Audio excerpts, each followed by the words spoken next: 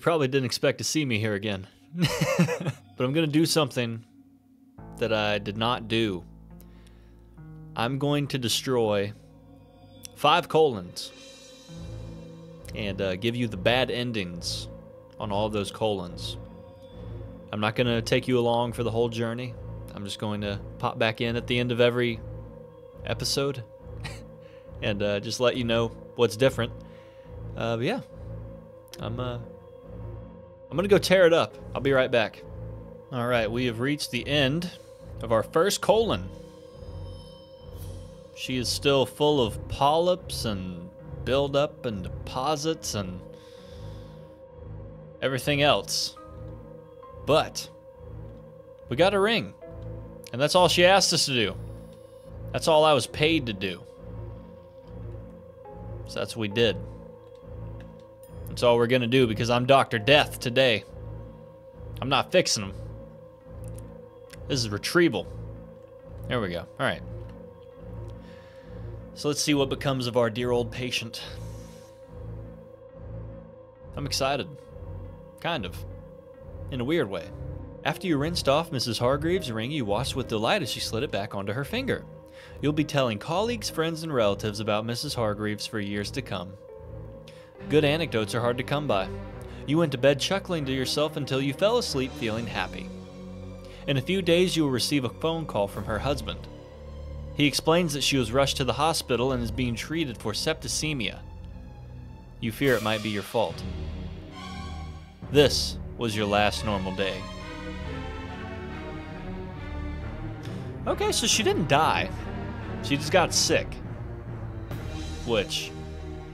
She didn't tell me to remove anything that was weird in there other than the ring.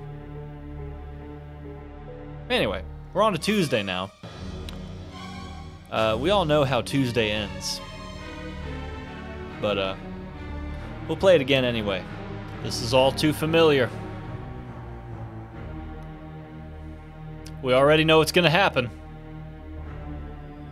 Can I cut it? Oh, wait, wait, wait, wait, wait, wait, wait! I almost messed up. I almost sent it away. I didn't even think about it. you realized your mistake instantly. You attempted admirably to stop the bleeding, but the damage was too extensive. An investigation into her death was opened, and you plan to cooperate fully. Every time you think about what happened, you vomit. And that was Tuesday. That's okay. Wednesday can't be any worse, right? Hidden cargo. Oh, this was the fisherman. I forgot about this guy. All right, I'll see you in a minute. What if I don't want the pearl? Do I have to take the pearl? That was it. That's the end of Wednesday. You've never seen a parasite infestation as bad as this. The biological waste bag that contained the extracted parasites undulated as it sat on your desk. You know for sure you did not get all the parasites out of your patient. You prescribed him some strong pills to kill the parasites chemically. This might make up for the unsatisfactory job you did. He left your office looking a bit shocked and weak. That night, your wife cooks you spaghetti, but you cannot eat it without retching. You take a long shower and go to bed early. You hope tomorrow will be a boring day, but it won't be. So the only thing that changed that day was I just gave him medicine. That's not bad. I don't think. Not really. I forgot this one. Ah, I remember now. This the guy that kept eating and eating and eating. Okay, yeah, I'll uh, I'll see you in a bit. Okay, I forgot this one was a longer colon, longer track, but we made it to our guy here. So I wonder if I have to kill it or if I can just go past it.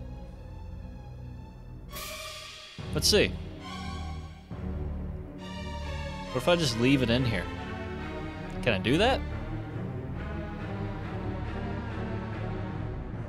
Yeah? I mean, it's not telling me I don't I guess I have to kill it.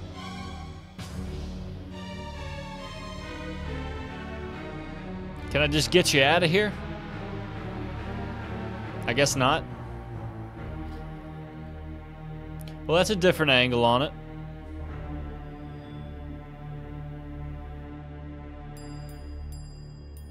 Just send that little piece of head down there. That's it. Okay, let's see what changed on this guy. Your patient was immediately transferred to the intensive care unit. For half an hour, you sat and stared at the floor and thought about what you had just witnessed. You've never encountered anything like this, and you feel that your performance was inadequate. Later that evening, you're told over the phone that your patient is in a coma. You do not eat anything for dinner, and you barely say anything to your wife. She's very concerned for you. You think about your parents and wish you could ask them for advice. You finally fall asleep, but not for very long. Well, that was not good. But we're at Friday, the final day. This is the one with the clown.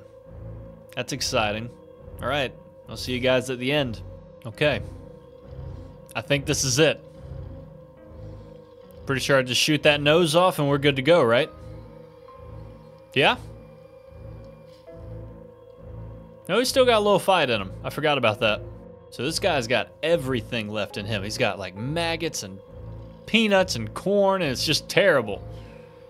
But we got to get rid of the clown. There it is. There it is. That's all we're to do. There we go. That should be it, right?